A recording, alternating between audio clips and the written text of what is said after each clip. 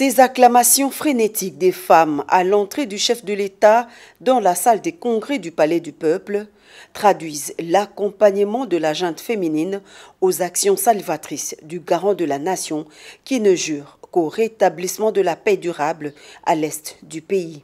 C'est une première en République démocratique du Congo, la journée internationale de la femme, longtemps réduite au simple port d'épagne et à l'exhibitionnisme des défilés creux au son des tambours battants, a cette fois-ci laissé la place à un autre format plus instructif. Les femmes des différentes couches sociales étaient en face du président de la République Félix Antoine Tshisekedi Chilombo, venu à leur rencontre pour un échange sur des sujets liés à la femme et à la promotion de ses droits une approche pédagogique voulue par la ministre du Genre, Femmes et Enfants, qui s'est refusée toute célébration festive en solidarité aux femmes de l'Est du pays victimes de l'agression prédatrice du Rwanda à travers le M23.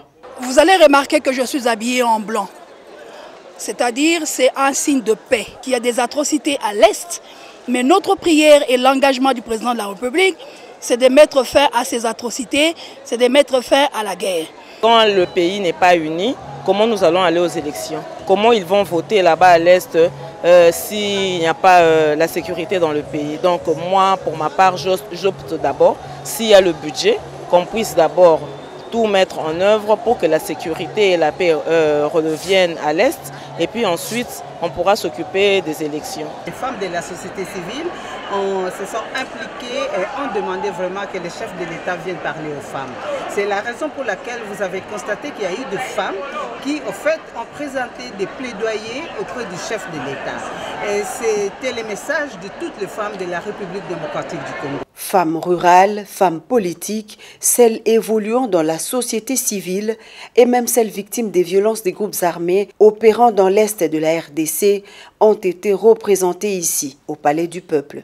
Toutes ont plaidé pour le respect des droits de la femme dans tous les secteurs de la vie. Le chef de l'État, dans sa casquette de champion de la masculinité positive, titre le consacré depuis 2021 par ses pairs africains, a réitéré son attachement au respect des droits de la femme congolaise, faisant allusion au thème dont le choix au niveau national renvoie à la volonté du gouvernement de renforcer les mesures visant la promotion des droits des femmes et de veiller à leur mise en œuvre effective.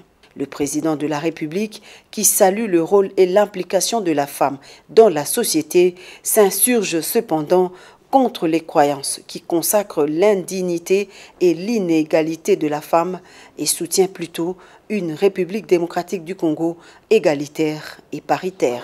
Cette journée, et plus particulièrement ce thème, nous rappelle combien le chemin demeure encore long, tant les inégalités en matière de genre semblent transcendantes et disparates.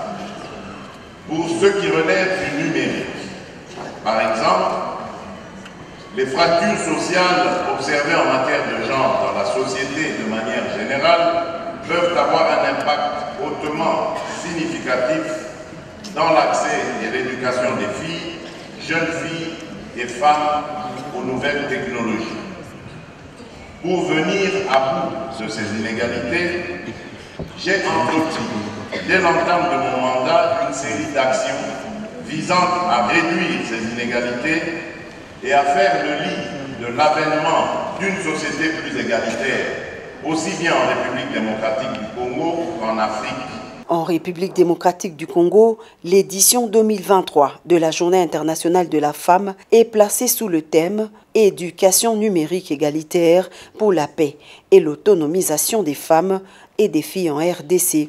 Il est inspiré du thème mondial pour un monde digital inclusif, innovation et technologie pour l'égalité des sexes.